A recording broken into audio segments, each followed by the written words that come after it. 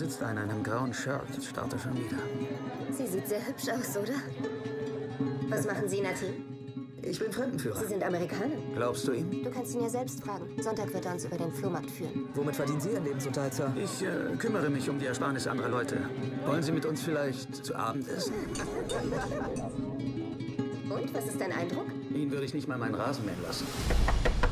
Mr. Donlevy, Das ist das falsche Zimmer. Sie sollten vorsichtiger sein, mit wem Sie Geschäfte machen. Du hast doch gesagt, dass uns niemand folgen wird. Wir werden sofort verschwinden.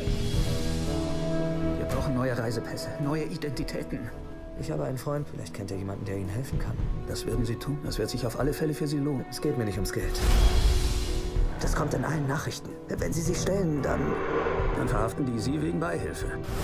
Die Wahrheit ist, wir sind aufeinander angewiesen. Werde ich gefasst, reiße ich Sie mit rein. Kriegen Sie sie, dann bin ich geliefert. Warum sind diese Leute hinter ihm her? Was hat er verbrochen?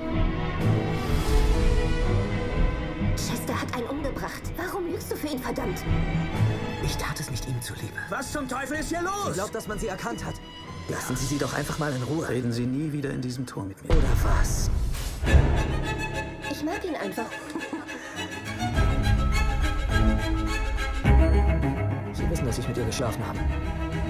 Das ist von ihr ausgegangen.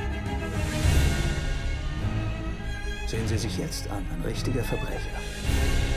Sie hätten mich töten sollen, als Sie noch die Möglichkeit dazu hatten.